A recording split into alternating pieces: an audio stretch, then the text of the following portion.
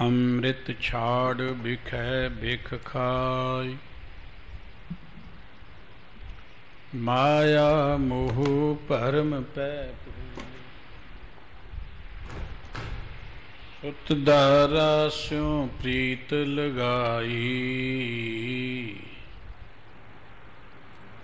ਇਕ ਉਤਮ ਪੰਥ ਸੁਨਿਓ ਗੁਰ ਸੰਗਤ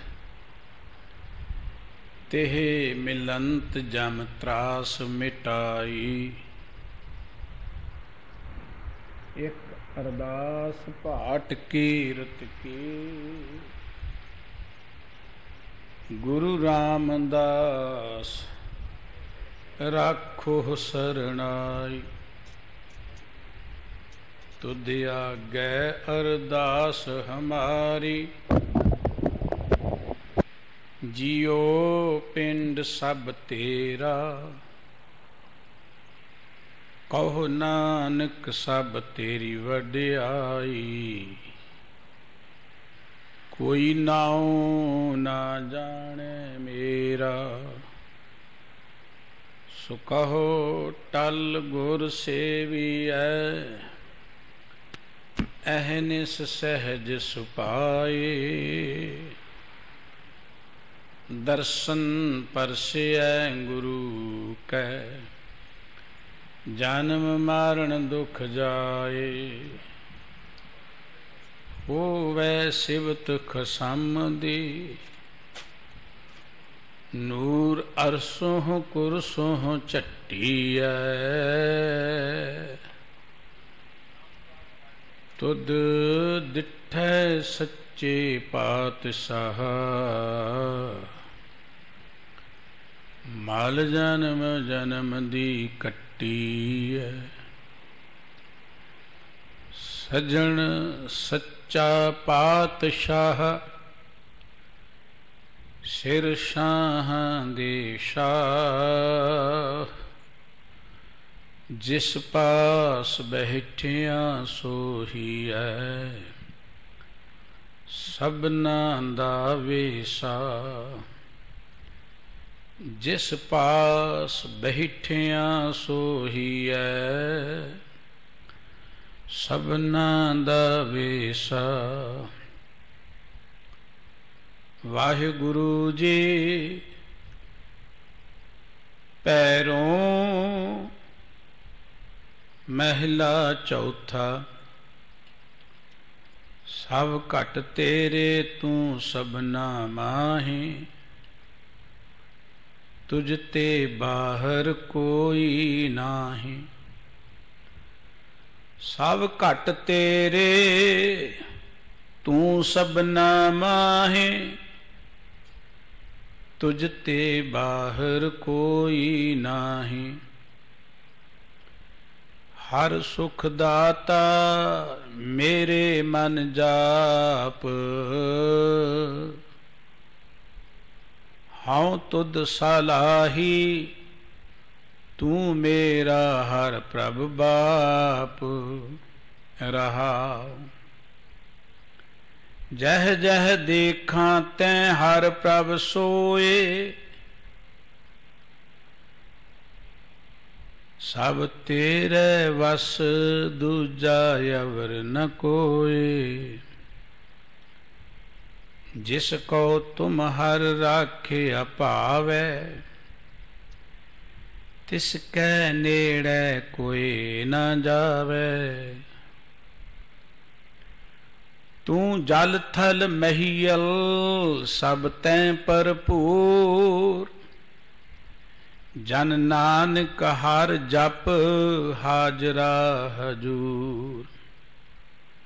ਤੂੰ ਜਲ ਥਲ ਮਹੀਲ ਸਭ ਤੈ ਭਰਪੂਰ। ਜਨ ਨਾਨਕ ਹਰ ਜਪ, ਹਾਜਰਾ ਹਜੂਰ। ਵਾਹਿਗੁਰੂ ਜੀ ਕਾ ਖਾਲਸਾ, ਵਾਹਿਗੁਰੂ ਜੀ ਕੀ ਫਤਿਹ। ਸਰਬ ਸੁਖਾਂ ਦੇ ਦਾਤੇ ਸਤਿਗੁਰੂ, ਚਵਰ ਛਤਰ ਤਖਤ ਦੇ ਮਾਲਕ, ਬਾਣੀ ਦੇ ਬੋਹਿਤ ਜੁਗੋ ਜੁਗ ਅਟਲ। ਸਾਹਿਬ ਸ੍ਰੀ ਗੁਰੂ ਗ੍ਰੰਥ ਸਾਹਿਬ ਜੀ ਦੀ ਪਾਵਨ ਪਵਿੱਤਰ ਹਜ਼ੂਰੀ ਵਿੱਚ ਸੁਭਾਇਮਾਨ। ਪਰਮ ਸਤਕਾਰ ਗੁਰੂ ਰੂਪ ਖਾਲਸਾ ਸਾਧ ਸੰਗਤ ਜੀਓ, ਅੰਮ੍ਰਿਤ ਵੇਲੇ ਗੁਰੂ ਕੇ ਦਰਸ਼ਨ ਦੀਦਾਰ ਕਰਦੇ ਆਂ ਪਾਵਨ ਗੁਰਬਾਣੀ ਦੇ ਕੀਰਤਨ ਦੇ ਰਾਹੀਂ ਵਾਹਿਗੁਰੂ ਜੀ ਦੇ ਪਿਆਰ ਵਿੱਚ ਜੁੜ ਕੇ ਆਪ ਜੀ ਨੇ ਆਪਣੇ ਜੀਵਨ ਦੀਆਂ ਘੜੀਆਂ ਨੂੰ ਸਫਲ ਬਣਾਈਆਂ ਨੇ ਅਤਿਅੰਤ ਵਡਭਾਗੀ ਹੋ।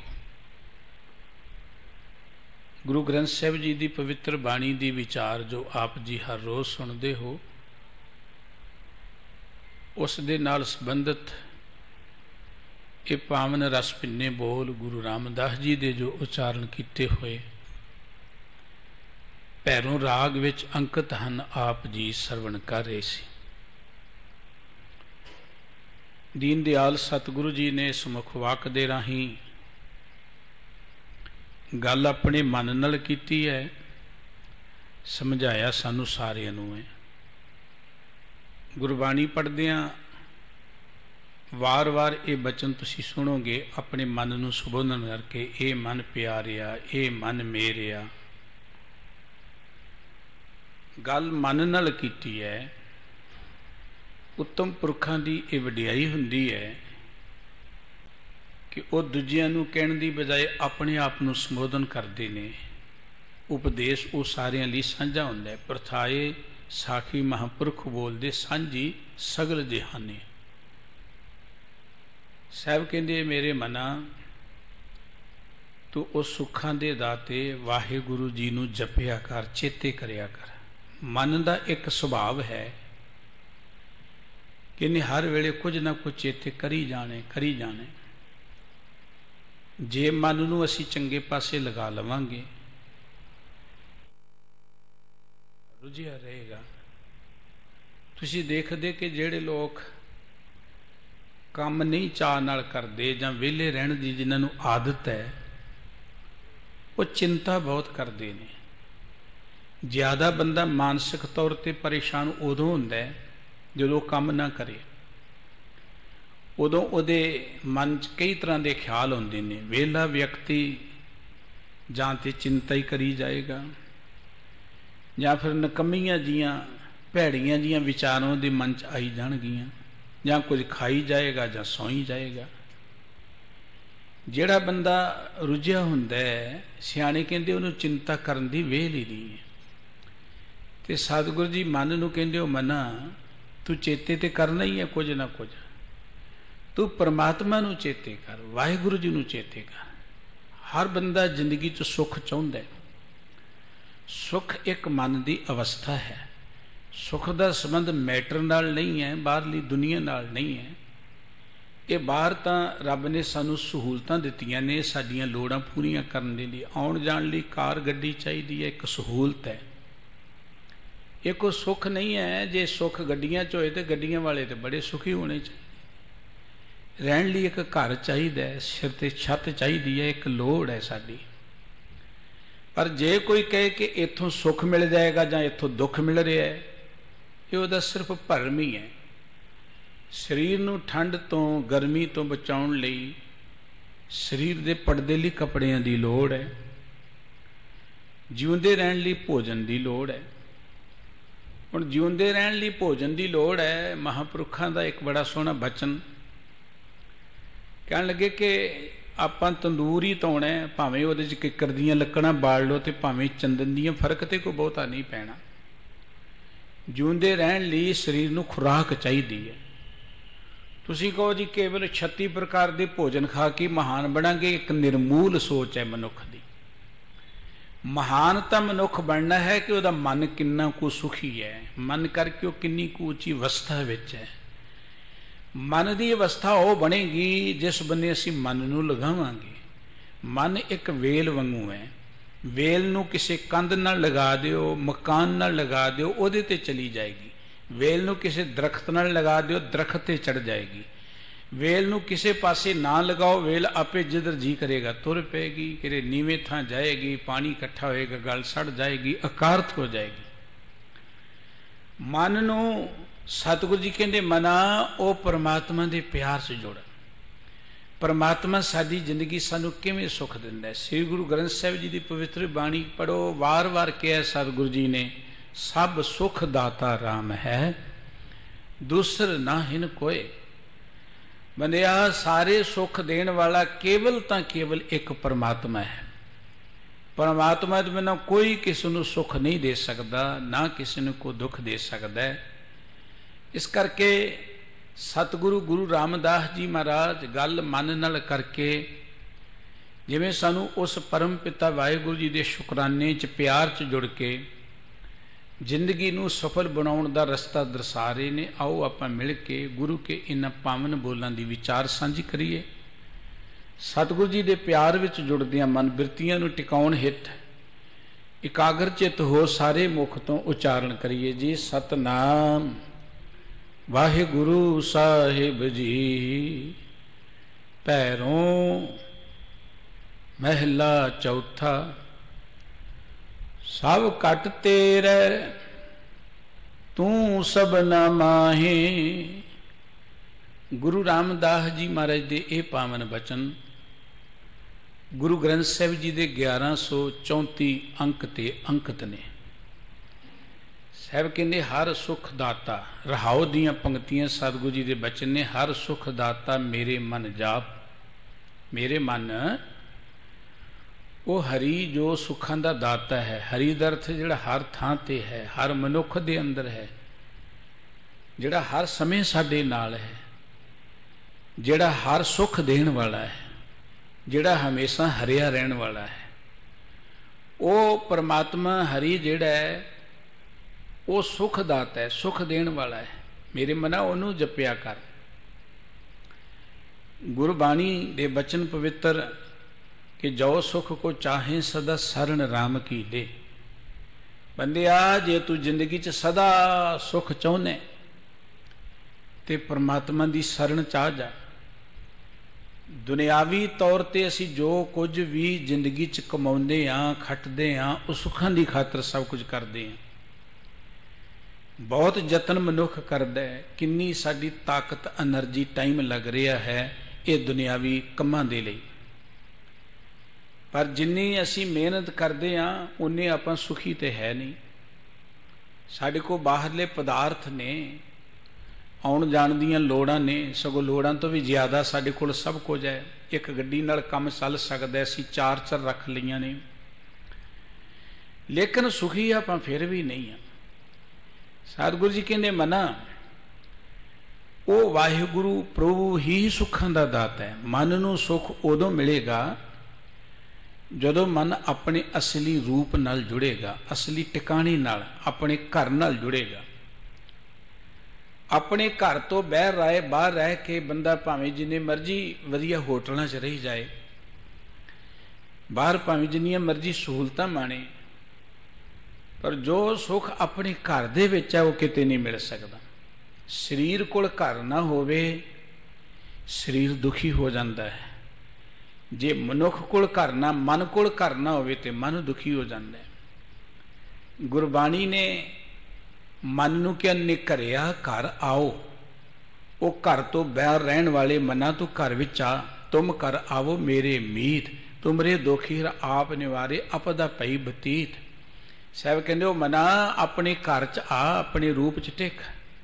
ਨਿਜ ਕਰ ਮਹਿਲ ਪਾਵੋ, ਸੁਖ ਸਹਜੇ ਬੌਰ ਨਾ ਹੋਈ, ਗੋ ਫੇਰਾ। ਉਹ ਮਨਾ ਆਪਣੇ ਨਿਜ ਘਰ ਚ, ਆਪਣੇ ਅਸਲੀ ਘਰ ਚ ਆ ਕੇ ਟਿਕ। ਮਨ ਜਿੱਥੇ ਵਿਚਰੇ ਹੈ ਨਾ, ਇਹ ਇਹਦਾ ਘਰ ਨਹੀਂ ਹੈ ਇਹਦਾ ਸਦੀਵੀ ਮੁਕਾਮ ਨਹੀਂ ਹੈ ਇੱਥੇ।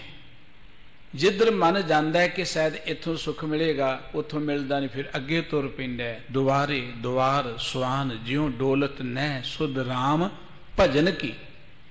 ਦਰ ਦਰ ਤੇ ਭਟਕਦਾ ਮਨ, ਕੇਵਲ ਤਾਂ ਕੇਵਲ ਸੁੱਖ ਪ੍ਰਾਪਤ ਕਰਨ ਦੇ ਲਈ। ਮਨ ਨੂੰ ਸੁੱਖ ਉਦੋਂ ਮਿਲੇਗਾ ਜਦੋਂ ਮੈਂ ਆਪਣੇ ਸਵੈ ਸਰੂਪ ਵਿੱਚ ਮਨ ਆ ਜਾਏਗਾ। ਸਰੀਰ ਦੇ ਕੋਲ ਘਰ ਨਾ ਹੋਵੇ ਤੇ ਸਰੀਰ ਦੁਖੀ। ਮਨ ਦੇ ਕੋਲ ਘਰ ਨਾ ਹੋਵੇ ਤੇ ਮਨ ਦੁਖੀ। ਇਸ ਕਰਕੇ ਮਨ ਉਦੋਂ ਸੁਖੀ ਹੋਏਗਾ ਜਦੋਂ ਆਪਣੇ ਪਰਮਾਤਮਾ, ਅਸਲੀ ਜੋ ਪਰਮਾਤਮਾ ਹੈ, ਇਹਦਾ ਮਾਲਕ ਉਹਦੇ ਨਾਲ ਜੁੜੇਗਾ। ਸਭ ਕਹਿੰਦੇ, ਨਿਤ ਅਰਦਾਸ ਕਰਿਆ ਕਰ ਕਿ ਹਉ ਤੁਧ ਸਲਾਹੀ, ਤੂੰ ਮੇਰਾ ਹਰ ਪ੍ਰਭ ਬਾਪ। हे ਪ੍ਰਮਾਤਮਾ ਜੀ, ਤੁਸੀਂ ਮੇਰੇ ਮਾਲਕ ਹੋ। ਤੁਸੀਂ ਮੇਰੇ ਬਾਪ ਹੋ। ਮੇਰੇ ਤੇ ਦਇਆ ਦ੍ਰਿਸ਼ਟੀ ਕਰੋ ਕਿ ਮੈਂ ਨਿਤ ਤੁਹਾਡੀ ਹੀ ਸਿਫਤ ਸਲਾਹ ਕਰਦਾ ਰਵਾਂ। ਤੁਹਾਡੀ ਕੀਰਤੀ ਕਰਦਾ ਰਵਾਂ।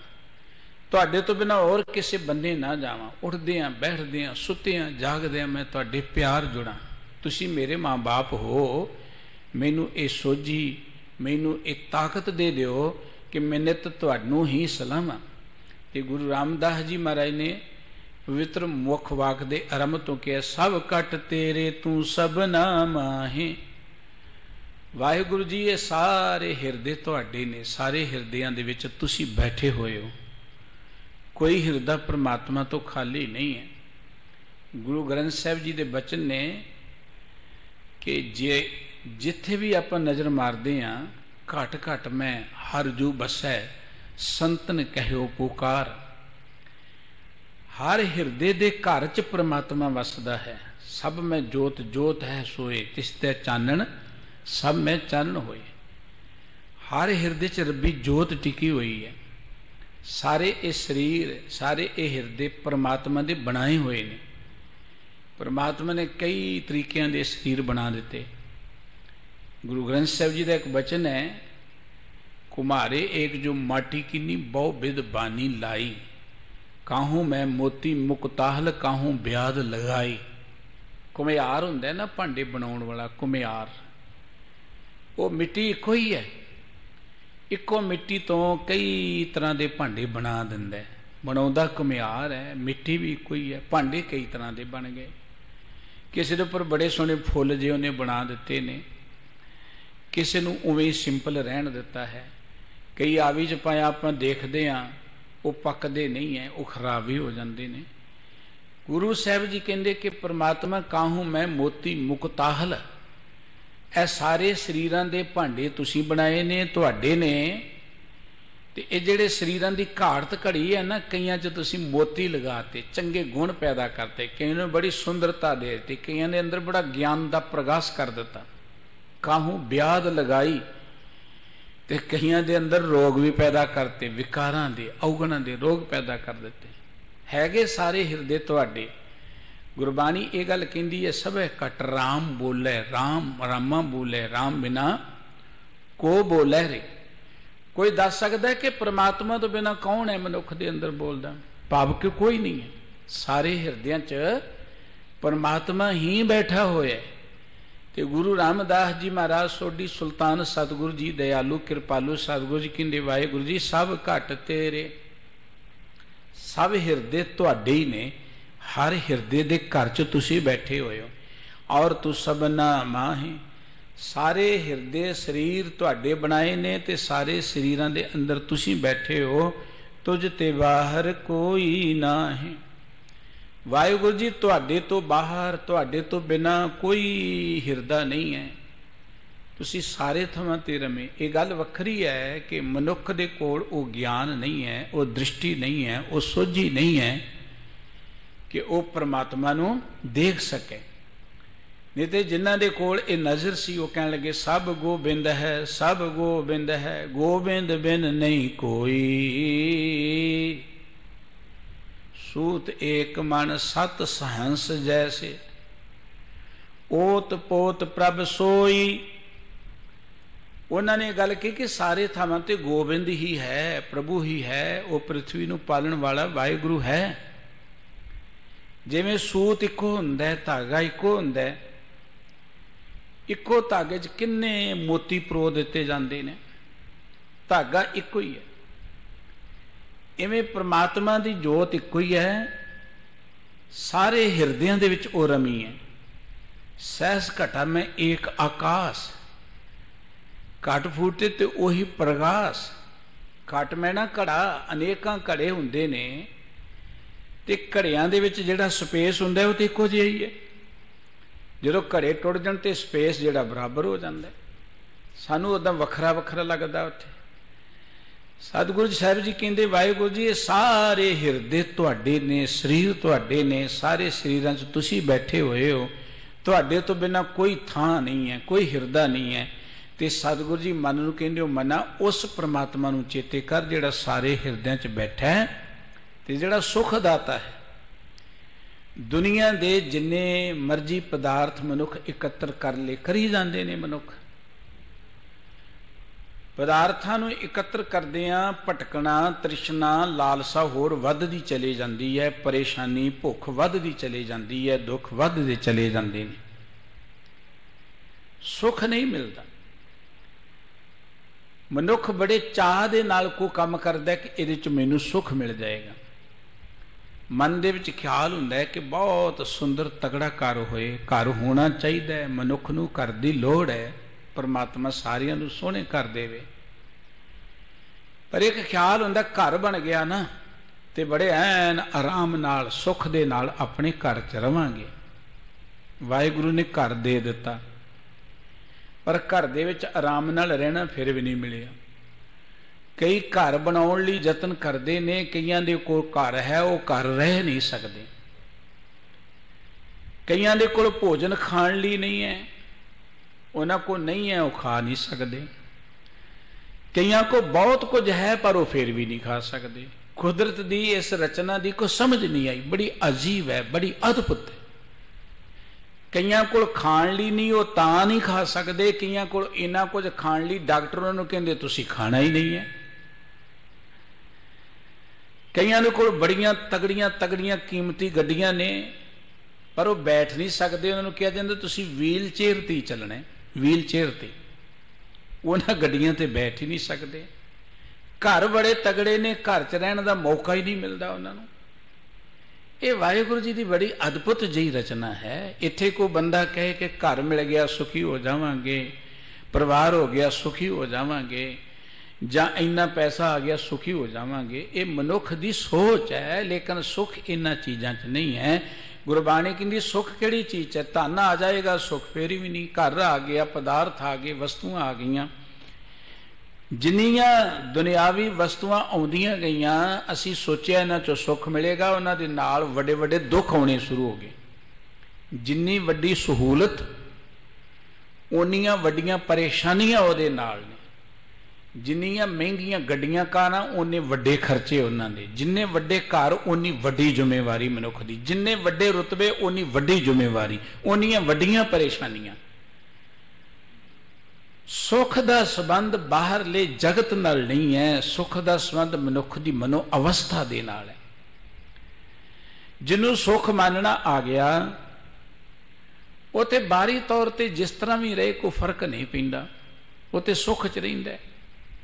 ਜਿਨ੍ਹਾਂ ਨੂੰ ਜਿਉਣ ਦੀ ਜੁਗਤ ਆ ਗਈ, ਉਹਨਾਂ ਨੂੰ ਦੁਨੀਆ ਦੇ ਲੋਕਾਂ ਨੇ ਦੁਖੀ ਕਰਨ ਦਾ ਯਤਨ ਕੀਤਾ, ਕਿਉਂਕਿ ਦੁਨੀਆ ਜਦੋਂ ਵੀ ਕਿਸੇ ਤੋਂ ਪਰੇਸ਼ਾਨ ਹੁੰਦੀ ਹੈ ਨਾ, ਦੁਨੀਆ ਪਰੇਸ਼ਾਨ ਹੁੰਦੀ ਹੈ ਜਾਗਰੂਕ ਲੋਕਾਂ ਕੋਲੋਂ, ਕਿਉਂਕਿ ਮਨੁੱਖੀ ਸਮਾਜ ਦੇ ਅੰਦਰ ਕੁਝ ਤਾਕਤਾਂ ਨੇ, ਜਿਹੜੀਆਂ ਚਾਹੁੰਦੀਆਂ ਨੇ, ਮਨੁੱਖ ਸੁੱਤਾ ਰਹੇ, ਅਸੀਂ ਇਹਨੂੰ ਲੁੱਟੀ ਜਾਈਏ।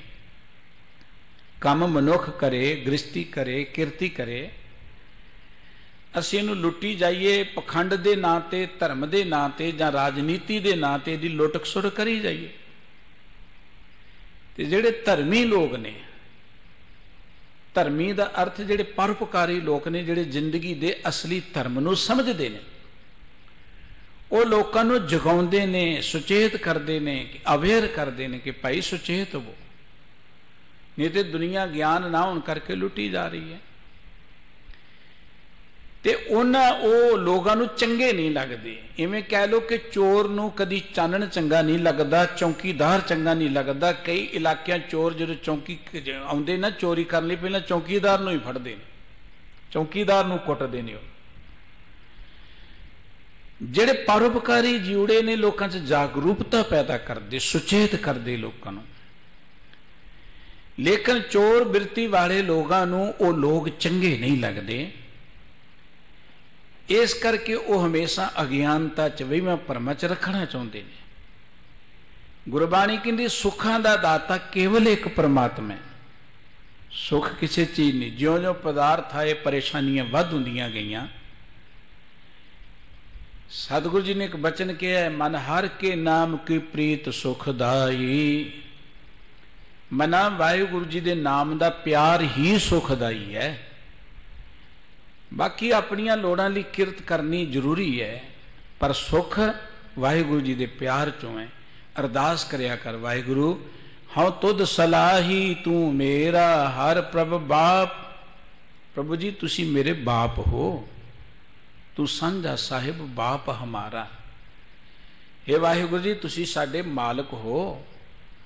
ਮੈਂ ਸਦਾ ਹੀ ਤੁਹਾਡੀ ਸਿਫਤ ਸਲਾਹ ਕਰਦਾ ਰਵਾਂ। ਇਹ ਦਾਤ ਮੈਨੂੰ ਬਖਸ਼ਿਸ਼ ਕਰੋ। ਰਹਾਓ ਜਹ ਜਹ ਦੇਖਾਂ, ਤੈ ਹਰ ਪ੍ਰਭ ਸੋਏ। ਮੈਂ ਜਿੱਧਰ ਨਜ਼ਰ ਮਾਰਦਾ ਹਾਂ, ਪ੍ਰਮਾਤਮਾ ਉੱਥੇ ਬੈਠਾ ਹੋਇਆ ਹੈ। ਪਰਮਾਤਮਾ ਤੋਂ ਬਿਨਾ ਕੋਈ ਥਾਂ ਨਹੀਂ ਹੈ। ਹਰ ਥਾਂ ਤੇ ਜਰੇ ਜਰੇ ਵਿੱਚ ਪਰਮਾਤਮਾ ਵਸਿਆ ਹੋਇਆ ਹੈ। ਸਗਲ ਬਨਸਪਤ ਮੈਂ ਬੈਸੰਤਰ, ਸਗਲ ਦੂਧ ਮੈਂ ਕੀਆ ਜਿਵੇਂ ਸਾਰੀ ਬਨਸਪਤੀ ਚ ਅੱਗ ਹੈ ਜਿਵੇਂ ਦੁੱਧ ਦੇ ਵਿੱਚ ਘਿਓ ਹੈ, ਤਿਵੇਂ ਸਾਰੇ ਥਾਵਾਂ ਤੇ ਪਰਮਾਤਮਾ ਹੈ। ਪਰਮਾਤਮਾ ਹੈ, ਪਰ ਸਾਨੂੰ ਨਜ਼ਰ ਨਹੀਂ ਆਉਂਦਾ। ਦੁੱਧ ਦੇ ਵਿੱਚ ਘਿਓ ਹੈ, ਕੋਈ ਕਹੇ ਜੀ ਦੁੱਧ 'ਚ ਘਿਓ ਹੈ, ਆਪਾਂ ਕਹਿੰਦੇ ਨਜ਼ਰ ਨਹੀਂ ਆਉਂਦਾ, ਦਿਖਦਾ ਨਹੀਂ ਸਿਆਣਾ ਕਹੇਗਾ ਵੀ ਪਹਿਲਾਂ ਇਹਦਾ ਦਹੀਂ ਜਮਾ, ਫਿਰ ਇਹਨੂੰ ਰਿੜਕ। ਰਿੜਕਣ ਤੋਂ ਬਾਅਦ ਇਹਨੂੰ ਘਿਓ ਲੱਭ ਜਾਏਗਾ। ਘਿਓ ਹੈ। ਪਰ ਉਹਨੂੰ ਕਿਸੇ ਜੁਗਤ ਨਾਲ ਤੂੰ ਦੇਖ ਸਕਦਾ ਤਿਲਾਂ 'ਚ ਤੇਲ ਹੈ, ਪਰ ਉਹ ਦੇਖਿਆ ਨਹੀਂ ਦਿਖੇਗਾ। ਉਹਨੂੰ ਕੋਲੂ 'ਚ ਪਾ ਕੇ ਪੀੜ ਲਓ, ਨਾਲ ਫੁੱਲ ਪਾ ਕੇ ਤੁਸੀਂ ਉਹਦਾ ਫਲੇਲ ਬਣਾ ਲਓ। ਧਰਤੀ ਦੇ ਹੇਠਾਂ ਪਾਣੀ ਹੈ, ਪਰ ਹੈ ਕਹਿਣ ਨਾਲ ਪਿਆਸ ਨਹੀਂ ਬੁਝਣੀ। ਉਹਦੇ ਕੋਈ ਖੂਹ ਪੁੱਟਿਆ ਜਾਏ, ਕੋਈ ਟਿਊਬਲ ਲਗਾਇਆ ਜਾਏ, ਫਿਰ ਪਾਣੀ ਬਾਹਰ ਆਏਗਾ। ਪਰਮਾਤਮਾ ਹਰ ਥਾਂ ਤੇ ਹੈ, ਇਹ ਤੇ ਸਾਰੇ ਆਪਾਂ ਕਹਿੰਦੇ ਆ ਪਰ ਹੈ ਕਹਿਣ ਨਾਲ ਗੱਲ ਨਹੀਂ ਨਾ ਬਣਦੀ, ਭੁੱਖ ਨਹੀਂ ਨਾ ਮਿਟਦੀ। ਆਪਾਂ ਕਿੰਨੇ ਧਾਰਮਿਕ ਲੋਕ ਨੇ ਮੇਰੇ ਵਰਗੇ ਰੋਜ਼ ਗੁਰਦੁਆਰਿਆਂ 'ਚ, ਮੰਦਰਾਂ 'ਚ, ਮਸੀਤਾਂ 'ਚ ਕਹਿੰਦੇ ਰੱਬ ਹੈ ਰੱਬ ਹੈ, ਪਰ ਰੱਬ ਦੇ ਉੱਪਰ ਉਹਨਾਂ ਨੂੰ ਵੀ ਭਰੋਸਾ ਨਹੀਂ, ਲੱਭਦਾ ਉਹਨਾਂ ਨੂੰ ਵੀ ਨਹੀਂ ਹੈ। ਰੱਬ ਹੈ ਕਹਿਣ ਨਾਲ ਗੱਲ ਨਹੀਂ ਬਣਨੀ। ਭਾਈ ਗੁਰਦਾਸ ਜੀ ਨੇ ਬਚਨ ਕੇ ਜੈਸੇ ਤੇ ਲਿਬਾਸ ਬਾਸ ਲੀਧੀਅਤ ਕੁਸਮ ਸਿਤਾਂ ਤੇ ਹੋਤ ਹੈ ਫੁਲੇਲ ਯਤਨ ਕਹਿ ਜਾਨੀ ਹੈ ਜਿਵੇਂ ਤਿਲਾਂ ਚੋਂ ਤੇ ਫੁੱਲਾਂ ਨੂੰ ਕਿਸੇ ਯਤਨ ਦੇ ਨਾਲ ਰੱਖ ਕੇ ਪੀੜ ਕੇ ਉਹਦੇ ਚੋਂ ਫੁਲੇਲ ਨਿਕਲਦਾ ਹੈ, ਸੁਗੰਧੀ ਵਾਲਾ ਤੇਲ। ਜੈਸੇ ਤੋ ਅਟਾਏ ਦੂਰ ਜਾਮਨ ਜਮਾਏ ਮਤ ਸੰਜਮ ਕੇ ਸਾਜ ਕਰਤ ਪ੍ਰਗਟ ਕੈ ਆਨੀ ਹੈ ਦੁੱਧ ਨੂੰ ਉਬਾਲਦੇ ਆ, ਠੰਡਿਆਂ ਕਰਦੇ ਕਿਸੇ ਲੈਵਲ ਤੱਕ। ਫਿਰ ਉਹਦੇ ਚ ਜਾਗ ਲਗਾਉਨੇ ਦਹੀਂ ਦੀ, ਫਿਰ ਉਹਨੂੰ ਆਪਾਂ ਐ ਰੱਖ ਦਿੰਨੇ ਖਾਸ ਟੈਂਪਰੇਚਰ ਤੇ। ਦਿਨ ਚੜਦਿਆਂ ਨੂੰ ਦਹੀਂ ਜੰਮ ਜਾਂਦਾ ਹੈ। ਦਹੀਂ ਨੂੰ ਆਪਾਂ ਫਿਰ ਪਾ ਕੇ ਬਰਤਨ ਚ ਮਧਾਣੀ ਨਾਲ ਰਿੜਕਦੇ ਆ। ਮਧਾਣੀ ਨਾਲ ਰਿੜਕਦਿਆਂ ਰਿੜਕਦਿਆਂ ਵਿੱਚੋਂ ਮੱਖਣ ਬਾਹਰ ਆ ਜਾਂਦਾ ਹੈ ਨਾ ਜੈਸੇ ਤੋ ਕੂਆ ਖੋਦ ਬਸਦਾ ਤਸਾਏ ਕੋਰੀ ਲਾਜ ਕੇ ਵਹਾਏ ਡੋਲ ਕਾੜ ਜਲ ਆਨੀ ਹੈ। ਧਰਤੀ 'ਚ ਖੂਹ ਪੁੱਟਿਆ ਜਾਂਦਾ ਹੈ। ਖੂਹ ਪੁੱਟਣ ਤੋਂ ਬਾਅਦ ਫਿਰ ਲੱਜ ਦੇ ਨਾਲ, ਰੱਸੇ ਦੇ ਨਾਲ ਡੋਲ ਕਮੰਡਲ ਭੇਜਦੇ ਖੂਹ ਦੇ ਵਿੱਚ। ਉਹਦੇ ਨਾਲ ਪਾਣੀ ਬਾਹਰ ਆ ਹੀ ਜਾਂਦਾ ਹੈ ਨਾ। ਤੈਸੇ ਗੁਰ ਉਪਦੇਸ਼ ਭਾਵਨੀ ਭਗਤ ਪਾਏ, ਘਟ ਘਟ ਰਮਤ, ਬ੍ਰਹਮ ਪਹਿਚਾਨੀ ਹੈ। ਤਿਵੇਂ ਗੁਰੂ ਕੇ ਉਪਦੇਸ਼ ਰਾਈ ਪਰਮਾਤਮਾ ਦੀ ਭਾਉ ਭਗਤੀ ਵਿੱਚ ਜੁੜ ਕੇ ਗੁਰੂ ਕੇ ਉਪਦੇਸ਼ ਰਾਈ ਬਹੁਤ ਦੁਨੀਆ ਰੱਬ ਰੱਬ ਕਰਦੀ ਹੈ ਸਤਕਾਰਯੋਗ ਹੈ ਭਾਈ। ਨਮਸਕਾਰ ਉਹਨਾਂ ਸਾਰਿਆਂ ਨੂੰ ਜਿਹੜੇ ਕਿਸੇ ਵੀ ਤਰੀਕੇ ਨਾਲ ਪਰਮਾਤਮਾ ਦੇ ਪਿਆਰ 'ਚ ਜੁੜੇ ਨੇ।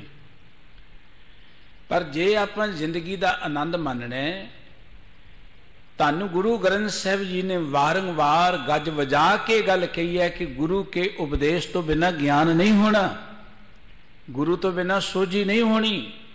ਗੁਰ ਬਿਨ ਘੋਰ ਅੰਧਾਰ, ਗੁਰੂ ਬਿਨ ਸਮਝ ਨਾ ਆਵੇ। ਗੁਰੂ ਗੁਰੂ ਗੁਰ ਕਰ ਮਨ ਮੋਰ, ਗੁਰੂ ਬਿਨਾ ਮੈਂ ਨਾਹੀ ਹੋਰ।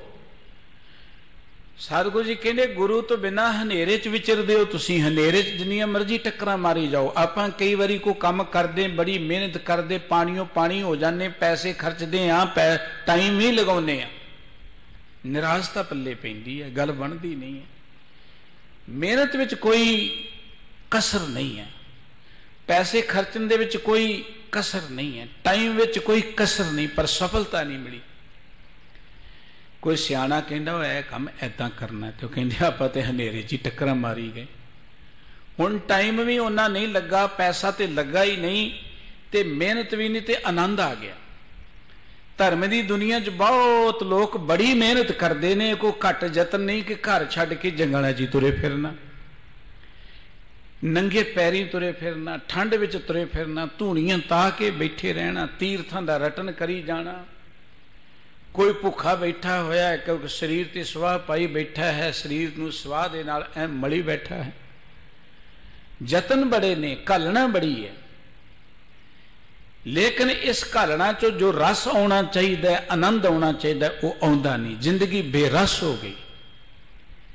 ਜਿੰਨੀ ਘਲਣਾ ਹੈ, ਮਨੁੱਖੀ ਸਮਾਜ ਦੇ ਅੰਦਰ ਉਹਨਾਂ ਰਸ ਨਹੀਂ ਹੈ। ਜਿੰਨਾ ਧਰਮ ਦੇ ਨਾਂ ਤੇ ਮੈਨ ਪਾਵਰ ਤੇ ਮਨੀ ਪਾਵਰ ਲੱਗ ਰਹੀ ਹੈ ਮਨੁੱਖ ਦੀ ਕੀ ਉਹਨਾਂ ਸਮਾਜ ਸਾਡਾ ਆਪਸੀ ਪਿਆਰ ਹੈ ਜਾਂ ਸਮਾਜ ਉਹਨਾਂ ਨੈਤਿਕ ਪੱਖ ਤੋਂ ਉੱਚਾ ਉੱਠ ਰਿਹਾ ਹੈ ਜਾਂ ਜ਼ਿੰਦਗੀ ਅੰਦਰ ਜਿਹੜਾ ਵੀ ਮਨੁੱਖ ਕਰ ਰਿਹਾ ਉਹ ਬੜਾ ਸੁਖੀ ਹੈ, ਉਹ ਬੜਾ ਪ੍ਰਸੰਨ ਹੈ, ਉਹ ਬੜਾ ਖੁਸ਼ਹਾਲ ਹੈ, ਉਹ ਬੜਾ ਖਿੜਿਆ ਹੋਇਆ ਤੁਸੀਂ ਦੇਖੋਗੇ। ਸਭ ਤੋਂ ਜ਼ਿਆਦਾ ਅੱਗ ਤੇ ਧਾਰਮਿਕ ਲੋਕਾਂ ਦੇ ਅੰਦਰ ਬੈਠੀ ਹੋਈ ਹੈ। ਦੁਨੀਆ ਕਿਵੇਂ ਵੀ ਹੈ, ਕਿਉਂਕਿ ਦੁਨੀਆ ਦੇ ਕੋਲ ਜਿਹੋ ਜੀ ਸੋਝੀ ਉਹਨੇ ਤੇ ਉਦੋਂ ਹੀ ਵਿਚਰਨਾ ਹੈ, ਉਹਨੂੰ ਆਪਾਂ ਮਾੜਾ ਨਹੀਂ ਕਹਿ ਸਕਦੇ।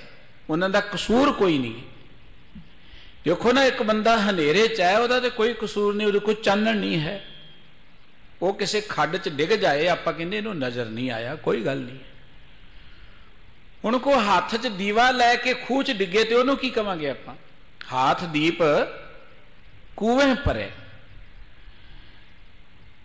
ਹੱਥ ਵਿੱਚ ਦੀਵਾ ਲੈ ਕੇ ਜੇ ਕੋਈ ਡਿੱਗ ਰਿਹਾ ਤੇ ਆਪਾਂ ਕਹਿੰਨੇ ਕਿਤੇ ਹਨੇਰ ਹੀ ਛਾ ਗਿਆ ਭਈ। ਦੀਵਾ ਹੁੰਦੇ ਆ ਡਿੱਗ ਪਿਆ। ਇਸ ਮਨੁੱਖੀ ਸਮਾਜ 'ਚ ਬਹੁਤ ਸਾਰੇ ਲੋਕ ਨੇ ਜਿਹੜੇ ਹੱਥ 'ਚ ਦੀਵਾ ਲੈ ਕੇ ਖੂਹ 'ਚ ਡਿੱਗ ਰਹੇ ਨੇ।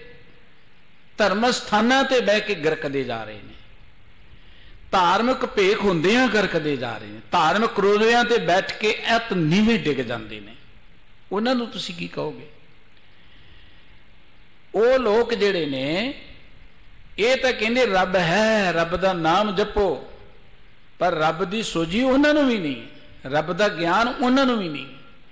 ਸਤਿਗੁਰੂ ਸਾਹਿਬ ਜੀ ਕਹਿੰਦੇ ਨੇ, ਭਾਈ ਸਾਹਿਬ, ਭਾਈ ਗੁਰਦਾਸ ਜੀ, ਕਿ ਤੈਸੇ ਗੁਰ ਉਪਦੇਸ਼ ਭਾਵਨੀ ਭਗਤ ਭਾਏ। ਘਟ ਘਟ ਰਮਤ, ਬ੍ਰਹਮ ਪਹਿਚਾਨੀ ਹੈ ਗੁਰੂ ਕੇ ਉਪਦੇਸ਼ ਰਾਹੀਂ ਵਾਹਿਗੁਰੂ ਜੀ ਦੀ ਭਾਉ ਭਗਤੀ ਵਿੱਚ ਜੁੜ ਕੇ ਉਹ ਪ੍ਰਮਾਤਮਾ ਜਿਹੜਾ ਸਾਰੇ ਘਟਾਂ 'ਚ ਬੈਠ ਹੋਇਆ ਹੈ, ਸਰਵ ਵਿਆਪਕ ਹੈ। ਉਸ ਪਰਮਾਤਮਾ ਦੇ ਫਿਰ ਦੀਦਾਰ ਪਹਿਚਾਨ ਹੋ ਜਾਂਦੀ। ਪਰਮਾਤਮਾ ਹੈ, ਪਰ ਸਾਨੂੰ ਉਹਨੂੰ ਪਹਿਚਾਨਣ ਦੇ ਲਈ ਸਾਡੇ ਕੋਲ ਪਰਖ ਨਹੀਂ ਹੈ, ਸਾਡੇ ਕੋਲ ਉਹ ਦ੍ਰਿਸ਼ਟੀ ਨਹੀਂ ਹੈ। ਪਰਮਾਤਮਾ ਹੈ, ਹਰ ਹਿਰਦੇ 'ਚ ਹੈ। ਅਸੀਂ ਪਹਿਚਾਨ ਨਹੀਂ ਸਕਦੇ ਉਹਨੂੰ। ਉਹ ਤੇ ਸਾਡੇ ਕੋਲ ਹੀ ਬੈਠਾ ਹੋਇਆ ਹੈ।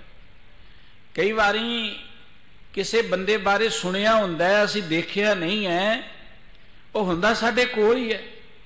ਜਦੋਂ ਪਤਾ ਲੱਗਿਆ ਆਪਾਂ ਕਹਿੰਦੇ ਇੰਨੇ ਚਿਰ ਦਾ ਸਾਡੇ ਕੋਲ, ਅਸੀਂ ਤੇ ਪਹਿਚਾਨ ਹੀ ਨਹੀਂ ਇਹਨੂੰ। ਪਤਾ ਹੀ ਨਹੀਂ ਨਾ ਸਾਨੂੰ। ਅਸੀਂ ਪ੍ਰਮਾਤਮਾ ਨੂੰ ਪਹਿਚਾਨ ਨਹੀਂ ਸਕਦੇ। ਪ੍ਰਮਾਤਮਾ ਕਿਤੇ ਗਿਆ ਨਹੀਂ ਹੈ। ਉਹਨੂੰ ਪਹਿਚਾਨਣ ਦੇ ਲਈ ਸੋਝੀ ਚਾਹੀਦੀ ਹੈ, ਗਿਆਨ ਚਾਹੀਦਾ ਹੈ। ਉਹਨੂੰ ਪਹਿਚਾਨਣ ਦੇ ਲਈ ਭੁੱਖੇ ਰਹਿਣ ਦੀ ਕੋਈ ਲੋੜ ਨਹੀਂ ਹੈ। ਉਹਨੂੰ ਪਹਿਚਾਨਣ ਦੇ ਲਈ ਨੰਗੇ ਪੈਰੀਂ ਫਿਰਨ ਦੀ ਕੋਈ ਲੋੜ ਨਹੀਂ ਹੈ। ਉਹਨੂੰ ਪਹਿਚਾਨਣ ਦੇ ਲਈ ਘਰ-ਬਾਰ ਛੱਡ ਕੇ ਜੰਗਲਾਂ ਜਾਂ ਤੀਰਥਾਂ ਤੇ ਭਟਕਣ ਦੀ ਲੋੜ ਨਹੀਂ ਹੈ। ਉਹਨੂੰ ਪਹਿਚਾਨਣ ਦੇ ਲਈ ਗਿਆਨ ਚਾਹੀਦਾ ਹੈ, ਦ੍ਰਿਸ਼ਟੀ ਚਾਹੀਦੀ ਹੈ, ਸੋਝੀ ਚਾਹੀਦੀ ਹੈ। ਉਹ ਸੋਝੀ ਮਿਲੇਗੀ ਗੁਰੂ ਦੇ ਕੋਲੋਂ। ਸਤਿਗੁਰੂ ਜੀ ਕਹਿਣਗੇ ਉਹ ਮਨਾ, ਉਹ ਪਰਮਾਤਮਾ ਜਿਹੜਾ ਜਹ ਜਹ ਦੇਖਾਂ ਤੈ ਹਰ ਪ੍ਰਭ ਸੋਏ। ਮੈਂ ਜਿੱਧਰ ਦੇਖਦਾ ਸਾਰੇ ਥਾਵਾਂ ਤੇ ਪਰਮਾਤਮਾ ਹੀ ਹੈ। ਸਭ ਤੇਰੇ ਵਸ, ਦੂਜਾ ਅਵਰ ਨ ਕੋਏ। ਵਾਹਿਗੁਰੂ ਜੀ, ਸਾਰੀ ਦੁਨੀਆ ਤੁਹਾਡੇ ਵਸ ਵਿੱਚ ਹੈ। ਤੁਹਾਡੇ ਤੋਂ ਬਿਨਾ ਕਿਸੇ ਦੇ ਵਸ ਨਹੀਂ ਹੈ। ਇਹ ਐਵੇਂ ਭਰਮ ਹੈ, ਕੁਝ ਲੋਕਾਂ ਨੂੰ ਕਿ ਅਸੀਂ ਬੜੀ ਦੁਨੀਆ ਕਾਬੂ ਕਰ ਲਈ, ਬੜੇ ਕਾਬੂ ਕਰ ਲਏ, ਅਸੀਂ ਬੜੇ ਹੁਕਮ ਚਲਾ ਲਏ। ਸਿਰਫ ਇੱਕ ਭਰਮ ਹੈ ਬੜਾ ਤਗੜਾ। ਕੋਈ ਕਿਸੇ ਨੂੰ ਆਪਣੇ ਹੁਕਮ 'ਚ ਨਹੀਂ ਚਲਾ ਸਕਦਾ ਤੇ ਨਾ ਹੀ ਕਿਸੇ ਦੇ ਚੱਲਣ ਦੀ ਸੁਭਾਅ ਬਣਾਉਣਾ ਚਾਹੀਦਾ ਮੇਰੇ ਹਰ ਜਿਉ ਸਭ ਕਿਛ ਤੇਰੇ ਵਸ ਅਸਾਂ ਜੋਰ ਨਹੀਂ, ਜੇ ਕਿਛ ਕਰ ਹਮ ਸਾਕੈ, ਜੋ ਭਾਵੇ ਤਿਵੈ ਬਖਸ਼।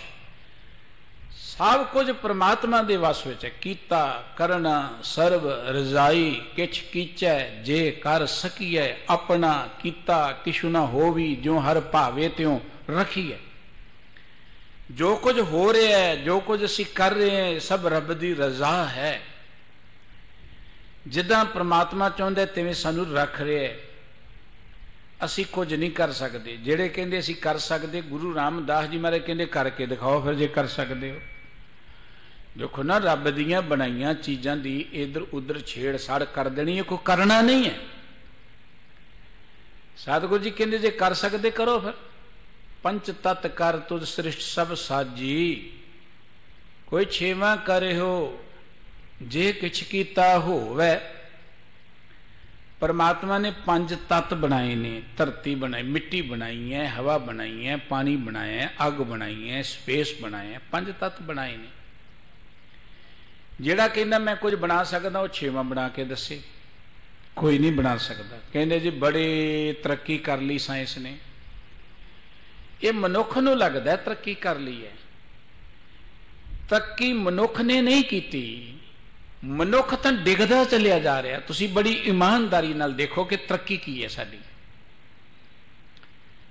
ਅੱਜ ਤੋਂ ਪਹਿਲਾਂ ਜਿਹੜੇ ਸਕੂਲਾਂ 'ਚ ਪੜ੍ਹੇ ਹੋਏ ਨੇ ਉਹ ਤੇ ਅਜੇ ਵੀ ਬਜ਼ੁਰਗ ਜਿਹੜੇ ਨੇ ਹੱਥ ਦੇ ਨਾਲ, ਰਸਨਾ ਨਾਲ ਹੀ ਵੱਡਾ ਵੱਡਾ ਹਿਸਾਬ ਕਿਤਾਬ ਹੱਲ ਕਰ ਦਿੰਦੇ ਨੇ। ਅੱਜ ਦੇ ਮੁੰਡੇ ਨੂੰ ਕੋਈ ਨਹੀਂ, ਮੈਂ ਕੰਪਿਊਟਰ ਤੇ ਬੈਠ ਕੇ ਕੈਲਕੂਲੇਟਰ ਲੈ ਕੇ ਦੇਖਦਾ, ਇਹ ਤਰੱਕੀ ਹੈ। ਇਹ ਤਾਂ ਗੁਲਾਮ ਬਣ ਗਿਆ ਬੰਦਾ। ਮੈਨੂੰ ਯਾਦ ਹੈ, ਸਾਡੇ ਬਜ਼ੁਰਗਾਂ ਨੇ, ਵੱਡਿਆਂ ਵਡੇਰੇ ਨੇ ਹਵਾ ਚੱਲਣੀ ਨਾ ਕਹਿਣਾ ਵੀ ਅੱਜ ਮੀਂਹ ਜ਼ਰੂਰ ਆਏਗਾ। ਮੀਂਹ ਆ ਜਾਂਦਾ ਸੀ। ਹਵਾ ਦਾ ਰੁਖ ਦੇਖ ਕਹਿਣਾ ਮੀਂਹ ਨਹੀਂ ਪੈਣਾ। ਹਵਾ ਦੇ ਰੁਖ ਤੋਂ ਹੀ ਉਹ ਅੰਦਾਜ਼ਾ ਲਗਾ ਲੈਂਦੇ ਸਨ ਅੱਜ ਤੇ ਟੈਲੀਵਿਜ਼ਨ ਤੇ 900 ਹੀ ਹੁੰਦਾ, ਮੀਂਹ ਪਏਗਾ, ਪੈਂਦਾ ਹੀ ਨਹੀਂ ਹੈ। ਇਹ ਤਰੱਕੀ ਹੈ ਕੋਈ? ਅਸੀਂ ਦੇ ਟੈਲੀਵਿਜ਼ਨ ਦੇਖੀ ਵੀ ਪਏਗਾ ਕਿ ਨਹੀਂ? ਮਨੁੱਖ ਦੀ ਜਿਹੜੀ ਆਪਣੀ ਦ੍ਰਿਸ਼ਟੀ ਸੀ, ਮਨੁੱਖ ਗਵਾਹ ਬੈਠਾ, ਮਨੁੱਖ ਫੌੜੀਆਂ ਦੇ ਆਸਰੇ ਤੇ ਚੱਲਣਾ ਸ਼ੁਰੂ ਹੋ ਗਿਆ। ਆਪਣੀ ਲੱਤਾਂ ਦੀ ਪਾਵਰ ਮਨੁੱਖ ਨੇ ਗਵਾ ਲਈ।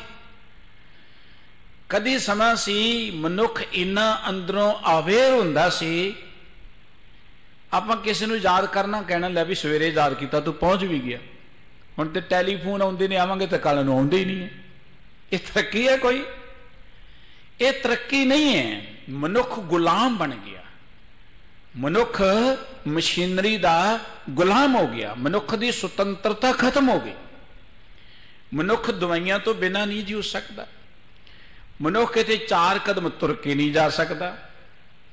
ਮਨੁੱਖ ਕਿਤੇ ਮਾੜੀ ਜੀ ਗਰਮੀ ਨਹੀਂ ਸਹਾਰ ਸਕਦਾ, ਮਨੁੱਖ ਕਿਤੇ ਮਾੜੀ ਜੀ ਠੰਡ ਅੱਜ ਦੇ ਮਨੁੱਖ ਨੂੰ ਤੇ ਮਾਰਨਾ ਹੀ ਬੜਾ ਸੌਖਾ, ਬਿਜਲੀ ਬੰਦ ਕਰ ਦਿਓ ਗਰਮੀਆਂ ਦਿਨਾਂ 'ਚ। ਦੇਖੋ ਕੀ ਬਣਦਾ ਪਹਿਲਾਂ ਵੀ ਕਦੀ ਇਦਾਂ ਹੁੰਦਾ ਸੀ।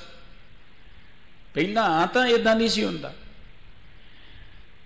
ਇਹਦਾ ਮਤਲਬ ਕਿ ਇਹ ਤਰੱਕੀ ਨਹੀਂ ਹੈ। ਮਨੁੱਖ ਦੇ ਮਨ 'ਚ ਇੱਕ ਪਰਮ ਹੈ। ਮਨੁੱਖ ਅੰਦਰੋਂ ਸਗੋਂ ਡਿੱਗਦਾ ਜਾ ਰਿਹਾ ਹੈ, ਕਮਜ਼ੋਰ ਹੁੰਦਾ ਜਾ ਰਿਹਾ ਹੈ। ਮਾਨਸਿਕ ਤੌਰ ਤੇ ਵੀ, ਸਰੀਰਕ ਤੌਰ ਤੇ ਵੀ।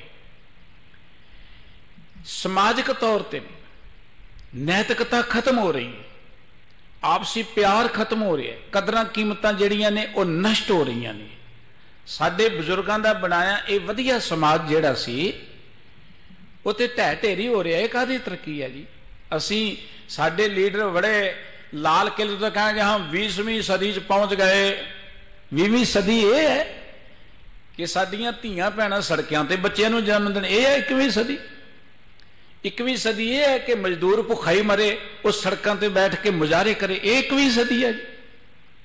ਅਸੀਂ ਤਾਂ ਬਹੁਤ ਪਿੱਛੇ ਚਲੇ ਗਏ। ਔਰ ਪਿੱਛੇ ਸਗੋਂ ਇਹ ਕੁਝ ਹੁੰਦਾ ਨਹੀਂ ਸੀ।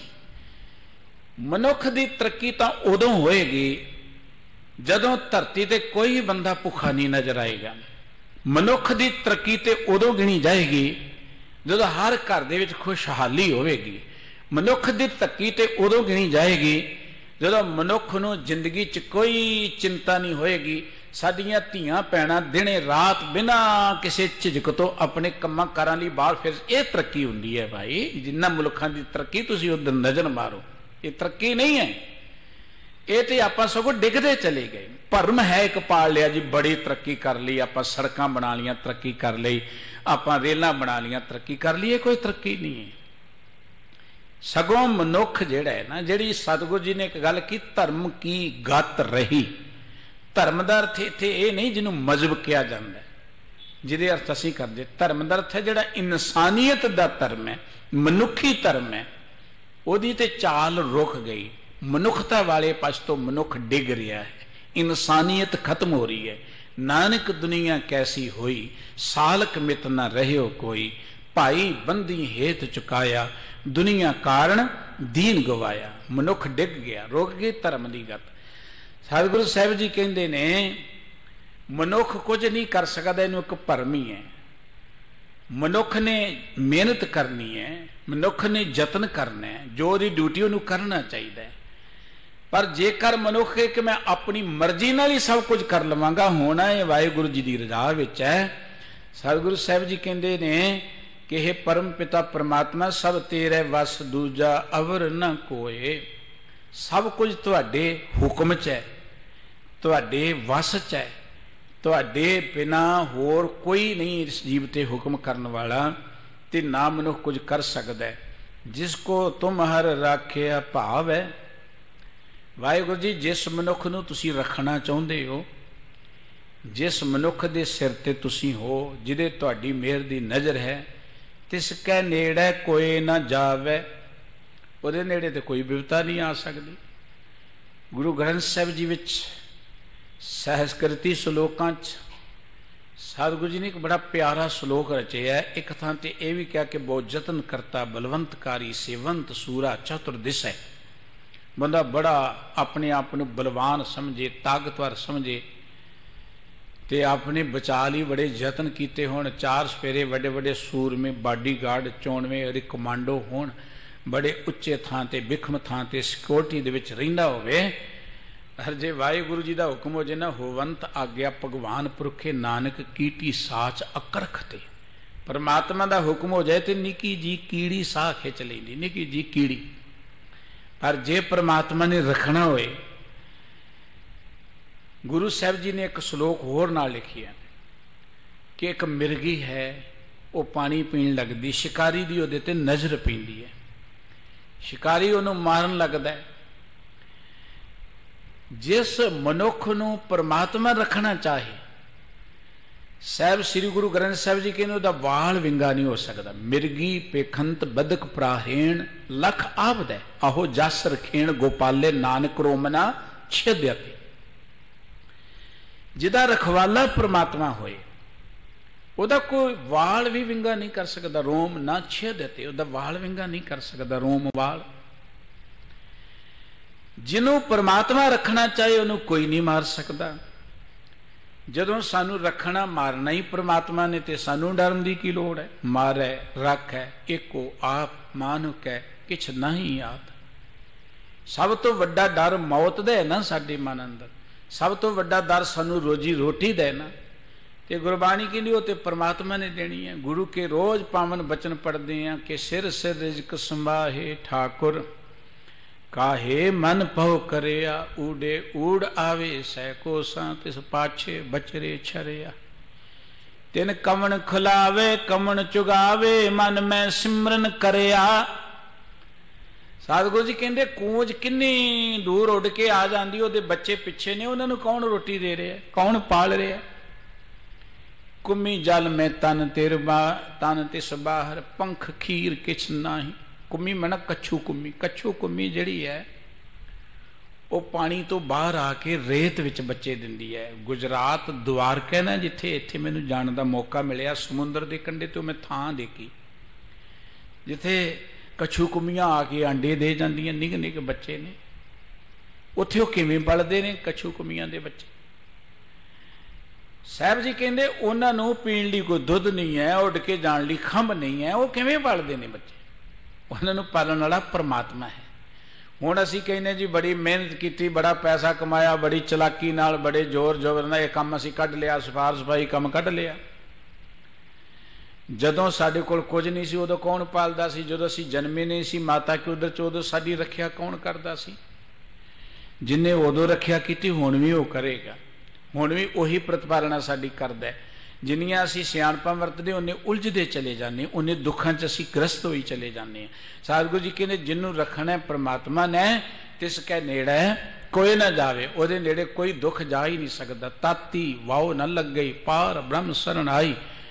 ਸਭ ਤੋਂ ਵੱਡਾ ਤੇ ਜਮ ਦੂਤ ਹੀ ਗਿਣਿਆ ਜਾਂਦਾ ਨਾ, ਔਰ ਜਮ ਦੇ ਨਾਂ ਤੇ ਡਰਾਇਆ ਗਿਆ ਮਨੁੱਖ ਨੂੰ, ਬੜਾ ਮਨੁੱਖ ਡਰਿਆ ਬੈਠਾ, ਮੌਤ ਨਾ ਆ ਜਾਏ, ਡਰ ਨਾ ਆ ਜਾਏ। ਤੇ ਸਤਿਗੁਰੂ ਜੀ ਕਹਿੰਦੇ, ਜੰਮ ਵੀ ਤੇ ਕਿਸੇ ਦੇ ਹੁਕਮ ਚ ਹੈ ਨਾ।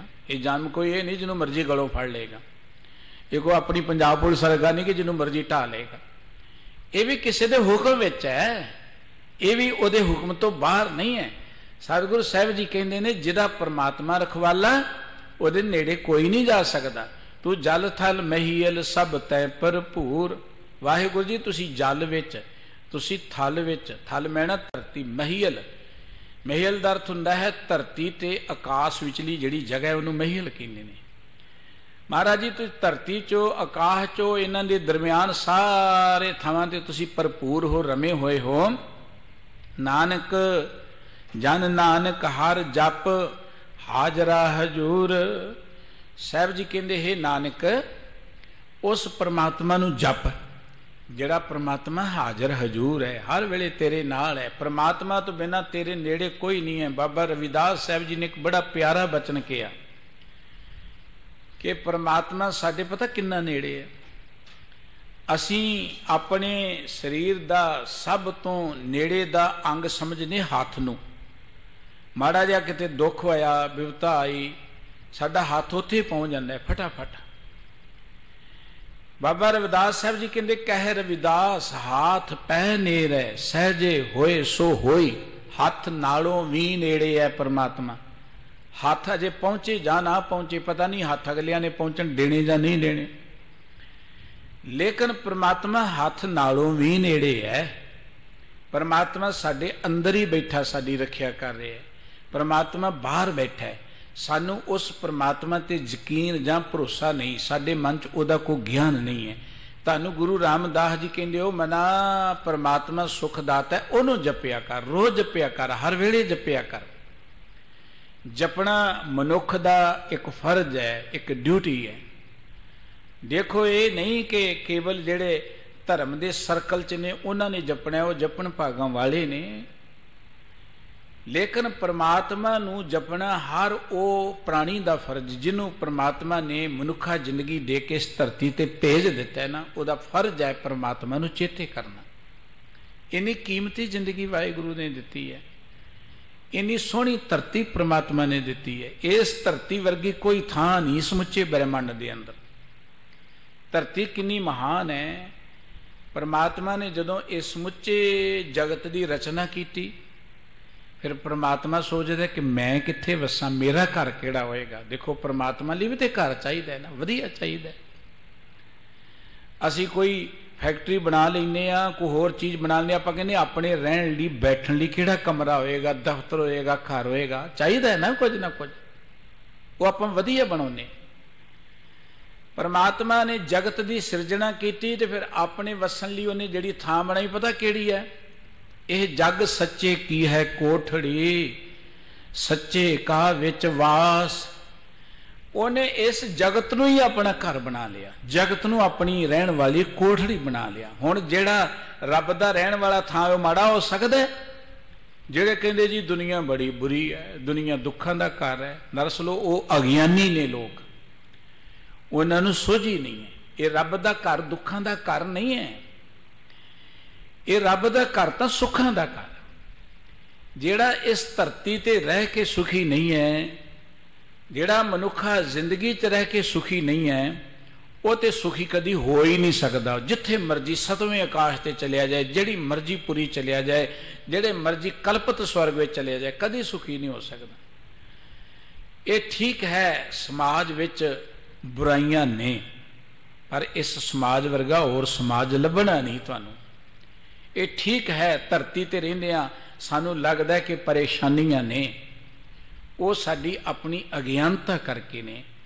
ਪਰ ਇਸ ਧਰਤੀ ਵਰਗੀ ਕੋਈ ਥਾਂ ਨਹੀਂ ਹੈ। ਜਦੋਂ ਸਤਿਗੁਰੂ ਜੀ ਦੀ ਨਜ਼ਰ ਪਈ ਧਰਤੀ ਵੱਲ, ਤੇ ਉਹਨਾਂ ਨੇ ਬੜੇ ਪਿਆਰ ਦੇ ਨਾਲ, ਬੜੀ ਗਿਆਨ ਦੀ ਗੱਲ ਕਰਦਿਆਂ ਕਹਿਣ ਲੱਗੇ, ਰਾਤੀ ਰੁੱਤੀ ਥਿੱਤੀ ਵਾਰ, ਪਵਨ ਪਾਣੀ ਅਗਨੀ ਪਾਤਾਲ ਤਿਸਵੇ ਧਰਤੀ ਥਾਪ ਰੱਖੀ ਧਰਮਸਾਲ। ਇੱਥੇ ਧਰਮਸਾਲ ਹੈ ਧਰਤੀ। ਆਪਣੇ ਅਸੀਂ ਘਰ ਵੀ ਵਾਹਿਗੁਰੂ ਜੀ ਨੇ ਦਿੱਤੇ ਨੇ, ਲੇਕਿਨ ਅਸੀਂ ਜਦੋਂ ਘਰ ਬਣਾਉਨੇ ਆ ਕਿਸੇ ਕਾਲੋਨੀ ਚ ਰਹਿੰਨੇ ਆ ਕੋਈ ਟਾਊਨ ਚ ਜਾਂਦੇ ਆ ਅਸੀਂ ਸਭ ਤੋਂ ਪਹਿਲਾਂ ਕਹਿੰਨੇ ਕੋਈ ਧਰਮਸਾਲ ਹੋਣੀ ਚਾਹੀਦੀ, ਰੱਬ ਦਾ ਘਰ ਹੋਣਾ ਚਾਹੀਦਾ। ਰੱਬ ਦਾ ਘਰ ਅਸੀਂ ਵਧੀਆ ਬਣਾਉਨੇ ਆ ਕੀਮਤੀ ਚੀਜ਼ਾਂ ਲਗਾਉਨੇ ਉੱਥੇ ਲਿਆ ਕੇ। ਪਰਮਾਤਮਾ ਨੇ ਧਰਮਸਾਲ ਬਣਾਇਆ, ਧਰਤੀ ਨੂੰ ਸਭ ਤੋਂ ਵਧੀਆ ਬਣਾਇਆ। ਬ੍ਰਹਿਮੰਡ ਦੇ ਅੰਦਰ ਸਭ ਤੋਂ ਵਧੀਆ ਥਾਂ ਬਣਾਈ ਹੈ ਇਹ ਧਰਤੀ। ਬਾਬਾ ਫਰੀਦ ਸਾਹਿਬ ਜੀ ਦੇ ਜਦੋਂ ਦੇਖਿਆ ਕਰਨਗੇ, ਫਰੀਦਾ ਭੂਮ ਰੰਗਾਵਲੀ, ਮੰਜ ਵਿਸੂਲਾ ਬਾਗ, ਇਹ ਧਰਤੀ ਬੜੀ ਰੰਗਾਵਲੀ ਹੈ, ਪਰਮਾਤਮਾ ਨੇ ਬਣਾਈ ਹੈ। ਇਹ ਦੁਨੀਆ ਸੁਹਾਵਾ ਬਾਗ ਹੈ, ਇਹ ਬੜਾ ਸੋਹਣਾ ਇੱਕ ਬਾਗ ਹੈ ਪਰਮਾਤਮਾ ਦਾ। ਲੇਕਿਨ ਪਰਮਾਤਮਾ ਦੇ ਇਸ ਬਾਗ ਵਿੱਚ ਰਹਿੰਦਿਆਂ ਬੰਦਾ ਕਹਿਣ ਲੱਗਾ, ਜੀ ਇਹ ਦੁਨੀਆ ਹੀ ਦੁੱਖਾਂ ਦਾ ਘਰ ਹੈ, ਇਹ ਜਗਤ ਹੀ ਦੁੱਖਾਂ ਦਾ ਘਰ ਹੈ, ਇਹ ਮਨੁੱਖ ਦੀ ਘਟ ਸੋਝੀ ਦਾ ਅਸਰ ਹੈ। ਸਤਿਗੁਰੂ ਸਾਹਿਬ ਜੀ ਕਹਿੰਦੇ, ਇਹ ਮਨਾ, ਜੇ ਤੂੰ ਜ਼ਿੰਦਗੀ 'ਚ ਸੁੱਖ ਚਾਹੁੰਦਾ ਤੇ ਕੇਵਲ ਇੱਕ ਪਰਮਾਤਮਾ ਨੂੰ ਚੇਤੇ ਕਰ। ਤੂੰ ਆਇਆ ਹੈ, ਉਹਨੂੰ ਚੇਤੇ ਕਰਨ ਤੇਰਾ ਫਰਜ਼ ਹੈ, ਹਰ ਪ੍ਰਾਣੀ ਦਾ ਫਰਜ਼ ਹੈ। ਜਿਸ ਵੀ ਪਰਮਾਤਮਾ ਨੂੰ, ਪਰਮਾਤਮਾ ਨੇ ਇਸ ਧਰਤੀ ਤੇ ਲਿਆਂਦਾ ਜਿਸ ਵੀ ਜੀਵ ਨੂੰ ਜ਼ਿੰਦਗੀ ਦਿੱਤੀ ਹੈ, ਉਹਦਾ ਫਰਜ਼ ਹੈ ਪਰਮਾਤਮਾ ਨੂੰ ਚੇਤੇ ਕਰੇ। ਕਿਉਂਕਿ ਜ਼ਿੰਦਗੀ ਤਾਂ ਪਰਮਾਤਮਾ ਦੀ ਹੈ, ਸਾਡੀ ਨਹੀਂ ਹੈ। ਜੇ ਸਾਡੀ ਹੋਏ ਤੇ ਆਪਾਂ ਕਦੀ ਜਾਈਏ ਨਾ ਇੱਥੋਂ। ਜੇ ਆਪਾਂ ਕਹਿੰਦੇ ਨਾ ਕਿ ਮੇਰਾ ਸਰੀਰ ਹੈ, ਮੇਰਾ ਘਰ ਹੈ, ਮੇਰੀ ਜ਼ਿੰਦਗੀ ਹੈ, ਜੇ ਮੇਰੀ ਹੋਏ ਤੇ ਮੈਂ ਤੇ ਕਦੀ ਵੀ ਨਾ ਜਾਵਾਂ। ਇਹ ਮੇਰੀ ਨਹੀਂ ਹੈ। ਤਾਂ ਤਾਈਓ ਜਿੰਨੇ ਸਾਨੂੰ ਦਿੱਤੀ ਉਹ ਵਾਪਸ ਲੈ ਲੈਂਦਾ ਗੁਰਬਾਣੀ ਕਹਿੰਦੀ, ਫਿਰ ਖਿੜੇ ਮੱਥੇ, ਜਿਸ ਕੀ ਬਸਤਿਸ ਆਗੇ ਰੱਖ ਹੈ। ਜਿਸ ਦੀ ਵਸਤੂ ਦਿੱਤੀ ਹੋਈ ਹੈ, ਉਹਦੇ ਅੱਗੇ ਰੱਖ ਦੇਣੀ ਚਾਹੀਦੀ ਹੈ, ਖੁਸ਼ ਹੋ ਕੇ। ਇਹ ਉਹਦੀ ਵਸਤੂ ਹੈ। ਜਦੋਂ ਉਹਦਾ ਹੁਕਮ ਹੁੰਦਾ, ਅਸੀਂ ਆ ਜਾਂਦੇ ਆ ਜਦੋਂ ਹੁਕਮ ਹੁੰਦਾ, ਆਪਾਂ ਚਲੇ ਜਾਂਦੇ ਆ ਇਹ ਜ਼ਿੰਦਗੀ ਉਹਦੀ ਦਿੱਤੀ ਹੈ, ਸਰੀਰ ਉਹਦਾ ਦਿੱਤਾ ਹੈ, ਤਨ, ਮਨ, ਧਨ ਸਭ ਕੁਝ ਉਹਦਾ ਦਿੱਤਾ ਹੋਇਆ ਸਾਨੂੰ ਤੇ ਇੱਕ ਵਾਹਿਗੁਰੂ ਜੀ ਨੇ ਮੌਕਾ ਦਿੱਤਾ ਹੈ, ਮੌਕਾ। ਇਹ ਘਰ ਬਾਹਰ, ਕਾਰੋਬਾਰ ਵਾਹਿਗੁਰੂ ਜੀ ਨੇ ਸਾਨੂੰ ਇੱਕ ਮੌਕਾ ਦਿੱਤਾ ਹੈ। ਉਹ ਮੌਕਾ ਕਾਦੇ ਲਈ ਦਿੱਤਾ ਹੈ ਕਿ ਆਪਾਂ ਇਸ ਧਰਤੀ ਤੇ ਰਹਿੰਦੇ ਆ ਕਾਰੋਬਾਰ ਕਰਦੇ ਆ ਜ਼ਿੰਦਗੀ ਦਾ ਕੋਈ ਲਾਹਾ ਖੱਟ ਜੀਏ ਇਸ ਟਾਈਮ ਨੂੰ ਕੋ ਸਫਲ ਬਣਾ ਦਈਏ ਇਹ ਟਾਈਮ ਸਾਨੂੰ ਮਿਲਿਆ ਹੈ। ਜਿਵੇਂ ਆਪਾਂ ਕਿਸੇ ਥਾਂ ਤੇ ਜਾਈਏ ਘੁੰਮਣ ਲਈ ਜਾਈਏ, ਬਹੁਤ ਸੋਹਣੀਆਂ ਸਹੂਲਤਾਂ ਹੁੰਦੀਆਂ ਨੇ ਉੱਥੇ ਤੇ ਉਹ ਕੋ ਸਾਡੀਆਂ ਨਹੀਂ ਹੁੰਦੀਆਂ ਕੋ ਚਿਰਲੀ ਮਿਲੀਆਂ ਹੁੰਦੀਆਂ ਨੇ, ਉਦੋਂ ਆਪਾਂ ਇੰਜੋਏ ਕਰ ਸਕੀਏ। ਇਹ ਧਰਤੀ ਤੇ ਜ਼ਿੰਦਗੀ ਦੇ ਕੇ, ਅਨੇਕਾਂ ਸੁੱਖ ਸਹੂਲਤਾਂ ਦੇ ਕੇ ਸਾਨੂੰ ਪ੍ਰਮਾਤਮਾ ਨੇ ਇੱਕ ਚਾਂਸ ਦਿੱਤਾ ਸੀ ਕਿ ਅਸੀਂ ਕੁਝ ਆਨੰਦ ਮਾਣ ਸਕੀਏ।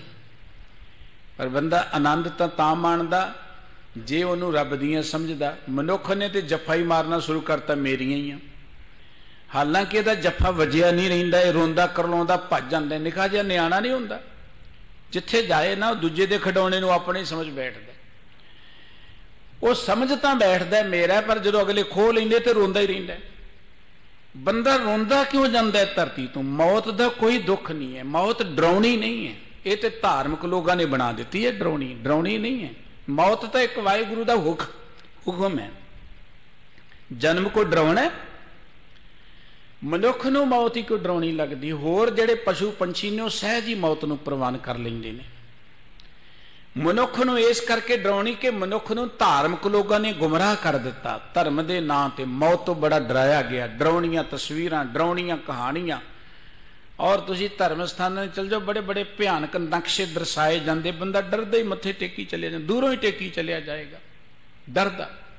ਮਨੁੱਖ ਦੇ ਅੰਦਰ ਹੀਣ ਭਾਵਨਾ ਪੈਦਾ ਕਰ ਦਿੱਤੀ ਗਈ, ਅਗਿਆਨਤਾ ਪੈਦਾ ਕਰ ਦਿੱਤੀ ਗਈ। ਗੁਰਬਾਣੀ ਮਨੁੱਖ ਦੇ ਅੰਦਰੋਂ ਇਸ ਅਗਿਆਨਤਾ ਨੂੰ ਕੱਟਦੀ ਹੈ। ਗੁਰਬਾਣੀ ਮਨੁੱਖ ਦੇ ਅੰਦਰੋਂ ਇਸ ਹੀਣ ਭਾਵਨਾ ਨੂੰ ਕੱਟ ਕੇ ਇੱਕ ਸਵੈਮਾਨ ਪੈਦਾ ਕਰਦੀ ਇੱਕ ਚਾਉ ਪੈਦਾ ਕਰਦੀ ਸੈਲਫ ਰਿਸਪੈਕਟ ਪੈਦਾ ਕਰਦੀ ਮੌਤ ਡਰਾਉਣੀ ਨਹੀਂ, ਪਰ ਮਨੁੱਖ ਨੇ ਡਰਾਉਣੀ ਸਮਝ ਲਈ। ਇਹ ਤੇ ਵਾਹਿਗੁਰੂ ਜੀ ਨੇ ਜ਼ਿੰਦਗੀ ਦਿੱਤੀ ਹੈ, ਜਦੋਂ ਉਹਦਾ ਹੁਕਮ ਹੋਏਗਾ ਉਹਨੇ ਖੋ ਲੈਣੀ ਹੈ। ਸਾਨੂੰ ਗਿਆਨ ਹੋਏ ਤੇ ਫਿਰ ਆਪਾਂ ਉਸ ਨੂੰ ਖਿਹੜੇ ਮੱਥੇ ਪ੍ਰਵਾਨ ਕਰ ਲੈਂਦੇ ਹਾਂ। ਜਿਨ੍ਹਾਂ ਨੂੰ ਗਿਆਨ ਹੈ, ਦੇਖੋ ਕਿਨੇ ਹੱਸਦੇ ਆਉਂਦੇ, ਹੱਸਦੇ ਹੀ ਚਲੇ ਜਾਂਦੇ ਨੇ। ਸਤਿਗੁਰੂ ਜੀ ਕਹਿੰਦੇ, ਹਰ ਮਨੁੱਖ ਦਾ ਫਰਜ਼ ਇਹ ਹੈ, ਰੱਬ ਨੇ ਸਾਨੂੰ ਜ਼ਿੰਦਗੀ ਦਿੱਤੀ ਹੈ, ਰੱਬ ਨੇ ਸਾਨੂੰ ਕਾਰੋਬਾਰ ਦਿੱਤੇ ਨੇ। ਇਹ ਕਾਰੋਬਾਰ ਕੋ ਸਾਡੀ ਸਿਆਣਪ ਨਾਲ ਨਹੀਂ ਬਣੇ। ਇਹ ਤੇ ਵਾਹਿਗੁਰੂ ਜੀ ਨੇ ਸਾਡੇ ਤੇ ਤਰੁੱਠ ਕੇ ਸਾਨੂੰ ਇਹ ਮੌਕਾ ਦਿੱਤਾ, ਜ਼ਿੰਮੇਵਾਰੀਆਂ ਦਿੱਤੀਆਂ ਕਿ ਇਹਨਾਂ ਰੁਤਬਿਆਂ ਤੇ ਬੈਠ ਕੇ ਤੁਸੀਂ ਜ਼ਿੰਦਗੀ ਦਾ ਆਨੰਦ ਮਾਣੋ, ਲੋਕਾਂ ਦੀਆਂ ਖੁਸ਼ੀਆਂ ਲੈ ਲਓ। ਰੱਬ ਕਿੰਨੀਆਂ ਦਾਤਾਂ ਦੇ ਰਿਹਾ ਸੰਸਾਰ ਦੇ ਲੋਕਾਂ ਨੂੰ? ਰੱਬ ਕਿੰਨੇ ਪਰਉਪਕਾਰ ਕਰ ਰਿਹਾ? ਇਹ ਤੇ ਸਾਡੇ ਅੰਦਰ ਇੱਕ ਰੱਬੀ ਗੁਣ ਪੈਦਾ ਕੀਤਾ, ਰੱਬ ਨੇ, ਪਰਮਾਤਮਾ ਨੇ, ਕਿ ਅਸੀਂ ਵੀ ਕੋਈ ਰੱਬ ਵਾਲਾ ਕੰਮ ਕਰ ਸਕੀਏ, ਕਿਸੇ ਦੁਖੀ ਦਾ ਦੁੱਖ ਦੂਰ ਕਰ ਸਕੀਏ, ਭੁੱਖੇ ਨੂੰ ਰੋਟੀ ਦੇ ਸਕੀਏ ਜਾਂ ਕਿਸੇ ਦੀ ਆਪ ਮਦਦ ਕਰ ਸਕੇ, ਮੌਕਾ ਦਿੱਤਾ ਸਾਨੂੰ ਵਾਹਿਗੁਰੂ ਜੀ ਨੇ। ਤੇ ਜੇ ਇਹਨਾਂ ਮੌਕਿਆਂ ਤੇ ਬੈਠ ਕੇ ਜੱਫੇ ਮਾਰੀ ਜਾਵਾਂਗੇ, ਸਾਡਾ ਹੈ, ਇਹ ਧਨ ਅੱਜ ਤੱਕ ਨਾ ਕਿਸੇ ਦਾ ਹੋਇਆ ਤੇ ਨਾ ਕਿਸੇ ਦਾ ਹੋਣਾ ਵੱਡੇ ਵੱਡੇ ਆਏ ਜਿਹੜੇ ਮੱਲਾ ਮਾਰਦੇ ਰਹੇ ਦਬ ਦਬ ਕੇ ਜਿਨ੍ਹਾਂ ਨੇ ਧਰਤੀ ਖੋਖਲੀ ਕਰ ਦਿੱਤੀ, ਜਾਣ ਲੱਗੀਆਂ, ਰੋਂਦੇ ਹੀ ਚਲੇ ਗਏ ਇਸ ਧਰਤੀ ਤੋਂ। ਸਾਡੀਆਂ ਨਜ਼ਰਾਂ ਦੇ ਸਾਹਮਣੇ ਬੜੇ ਨੇ, ਜਿਨ੍ਹਾਂ ਨੇ ਲੋਕਾਂ ਕੋਲ ਵੱਡੀਆਂ ਲੈ ਲੈ ਕੇ ਐ ਵੱਡੇ ਵੱਡੇ ਘਰ ਘਾਟ ਭਰ ਲਏ, ਬੈਂਕਾਂ ਭਰ ਲਈਆਂ ਤੇ ਜਾਣ ਲੱਗਿਆਂ ਕੱਲੇ ਹੀ ਚਲੇ ਗਏ, ਹਸਪਤਾਲ 'ਚ ਕੋਈ ਵੀ ਨਹੀਂ ਨੇੜੇ ਕੱਲੇ ਹੀ ਚਲੇ ਗਏ। ਇਹ ਨਾ ਧਨ ਕਿਸੇ ਦਾ ਹੈ, ਨਾ ਕਿਸੇ ਦਾ ਹੋਣਾ ਹੈ, ਇਹ ਧਰਤੀ ਤੇ ਜੋ ਕੁਝ ਵੀ ਹੈ ਸਾਡਾ ਨਹੀਂ ਹੈ ਇਹ ਪਰਮਾਤਮਾ ਦਾ ਬਣਾਇਆ ਸਾਡੇ ਲਈ, ਜਿਵੇਂ ਕਿਸੇ ਅਸੀਂ ਬਾਗ ਬਗੀਚੇ ਜਾਂ ਹੋਟਲ ਸੈਰਗਾਹ 'ਚ ਜਾਂਦੇ ਹਾਂ, ਉਹ ਸਾਡੇ ਲਈ ਸਹੂਲਤਾਂ ਨਹੀਂ ਬਣਾਈਆਂ ਹੁੰਦੀਆਂ। ਇਹ ਸਾਡੇ ਲਈ ਪ੍ਰਮਾਤਮਾ ਨੇ ਸੋਹਣਾ ਬਾਗ ਬਣਾਇਆ ਸੋਹਣੀ ਸਰਾਂ ਬਣਾਈ ਹੈ। ਅਸੀਂ ਇੱਥੇ ਸਿਰਫ ਕੁਝ ਟਾਈਮ ਬਤੀਤ ਕਰਨ ਲਈ ਆਏ, ਉਹਨੂੰ ਸਫਲ ਕਰਨਾ ਸਾਡੇ ਹੱਥ ਵਿੱਚ ਹੈ। ਸਾਧਗੁਰੂ ਜੀ ਕਹਿੰਦੇ, ਬੰਦਿਆ, ਜੇ ਸਫਲ ਕਰਨਾ ਹੈ ਤੇ ਉਸ ਪ੍ਰਮਾਤਮਾ ਨੂੰ ਚੇਤੇ ਰੱਖ। ਸੁੱਖਾਂ ਦਾ ਦਾਤਾ ਉਹੀ ਹੈ। ਅਰਦਾਸ ਕਰਿਆ ਕਰ ਹਾਂ ਤੁਧ ਸਲਾਹੀ, ਤੂੰ ਮੇਰਾ ਹਰ ਪ੍ਰਭਾ। ਵਾਹਿਗੁਰੂ, ਤੁਸੀਂ ਮੇਰੇ ਮਾਂ-ਬਾਪ ਹੋ। ਤੁਸੀਂ ਮੇਰੇ ਮਾਲਕ ਹੋ। ਮੇਰੇ ਤੇ ਇਹਦੇ ਦਿਆ ਦ੍ਰਿਸ਼ਟੀ ਕਰ ਦਿਓ ਕਿ ਮੈਂ ਤੁਹਾਨੂੰ ਨਿਤ ਚੇਤੇ ਰੱਖਾਂ। ਤੁਹਾਡੀ ਨਿਤ ਸਿਫਤ ਸਲਾਹ ਕਰਦਾ ਰਵਾਂ। ਤੁਸੀਂ ਸਾਰਿਆਂ 'ਚ ਬੈਠੇ ਹੋ। ਧੜ ਤੋਂ ਬਿਨਾ ਕੋਈ ਨਹੀਂ ਹੈ। ਮੈਂ ਜਿੱਧਰ ਨਜ਼ਰ ਮਾਰਦਾ, ਉਧਰ ਤੁਸੀਂ ਹੀ ਰਮੇ ਹੋਏ ਹੋ। ਵਾਹਿਗੁਰੂ ਜੀ, ਸਭ ਕੁਝ ਤੁਹਾਡੇ ਹੁਕਮ ਵਿੱਚ ਹੈ। ਕੋਈ ਤੁਹਾਡੇ ਹੁਕਮ ਤੋਂ ਬਾਹਰ ਨਹੀਂ ਹੈ।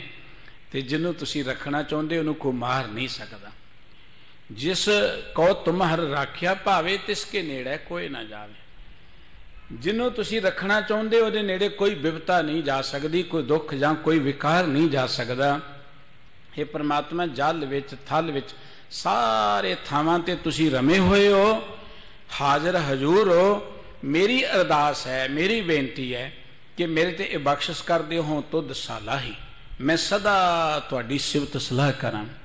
ਗੁਰੂ ਕੋਲ ਜਦੋਂ ਵੀ ਆਉਣਾ ਗੁਰੂ ਪਾਸੋਂ ਇੱਕ ਦਾਤ ਮੰਗਣੀ, ਇੱਕ ਸੋਝੀ ਮੰਗਣੀ ਹੈ ਕਿ ਸਤਿਗੁਰੂ ਜੀ, ਸਾਡੇ ਤੇ ਕਿਰਪਾ ਕਰੋ, ਗੁਰਾ, ਇੱਕ ਦੇਹ 부ਝਾਈ ਸਭਨਾ ਜੀਆਂ ਕਾ ਇੱਕ ਦਾਤਾ।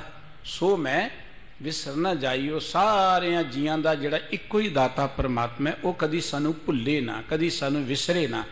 ਜੇ ਅਸੀਂ ਉਹਨੂੰ ਨਿਤ ਚੇਤੇ ਰੱਖਾਂਗੇ, ਸੁਖ ਤੇ ਵਾਹਿਗੁਰੂ ਜੀ ਨੇ ਪਹਿਲਾਂ ਹੀ ਬੜੇ ਰੱਖੇ ਨੇ ਸਾਡੇ ਲਈ। ਬਣਾਇਆ ਹੀ ਸਭ ਕੁਝ ਸੁੱਖਾਂ ਲਈ ਹੈ, ਕੋਈ ਸੁੱਖ ਉਹਦੇ ਪਾਸੋਂ ਮੰਗਣ ਦੀ ਲੋੜ ਨਹੀਂ ਹੈ। ਸੁੱਖ ਤਾਂ ਸਾਡੇ ਅੰਦਰੋਂ ਆਪਣੇ ਆਪ ਹੀ ਪੈਦਾ ਹੁੰਦੇ ਜਾਂਦੇ ਨੇ, ਪਰ ਕਦੋਂ? ਜਦੋਂ ਅਸੀਂ ਉਹਦੀ ਸਿਫਤ ਸਲਾਹ ਵਿੱਚ ਜੁੜ ਜਾਵਾਂਗੇ। ਸਤਿਗੁਰੂ ਜੀ ਬਖਸ਼ਿਸ਼ ਕਰਨ। ਧੰਨ ਗੁਰੂ ਰਾਮਦਾਸ ਜੀ ਮਹਾਰਾਜ ਦੇ ਇਹ ਪਾਵਨ ਬਚਨ ਸਾਡੇ ਹਿਰਦੇ 'ਚ ਵਸਣ। ਇਨੀਆਂ ਬੇਨਤੀਆਂ ਪ੍ਰਵਾਨ ਕਰਨੀਆਂ, ਵਿਚਾਰ ਕਰਦਿਆਂ ਜੋ ਭੁੱਲਾਂ ਹੋ ਗਈਆਂ, ਭੁੱਲ ਚੁੱਕ ਦੀ ਖਿਮਾ ਕਰ ਦੇਣੀ ਜੀ। ਸਤਿਗੁਰੂ ਜੀ ਸਾਰੀਆਂ ਸੰਗਤਾਂ ਦੇ ਸਿਰ ਤੇ ਮਿਹਰ ਪ੍ਰਿਆਤ ਰੱਖਣ। ਆਪਣੇ ਦਰ ਕਰ ਦੀ ਪ੍ਰੀਤ, ਨਾਮ ਬਾਣੀ ਦਾ ਪਿਆਰ ਬਖਸ਼ ਕੇ ਕਰਤਾਰ ਕਰਨ ਜੀ। ਪਿਆਰ ਸਹਿਤ ਬੁਲਾਓ। ਵਾਹਿਗੁਰੂ ਜੀ ਕਾ ਖਾਲਸਾ। ਵਾਹਿਗੁਰੂ ਜੀ ਕੀ ਫਤਿਹ।